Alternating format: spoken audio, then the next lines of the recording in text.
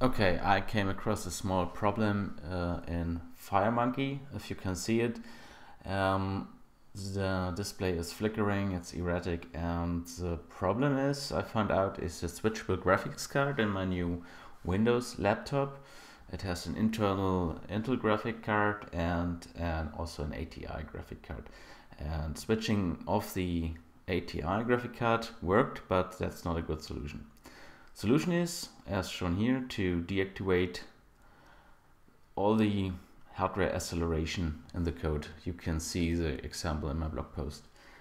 And after that, and a fresh compile, you see the UI is now working properly without the graphic problems. Well, I admit it's more or less a workaround because you disable the hardware acceleration of your program.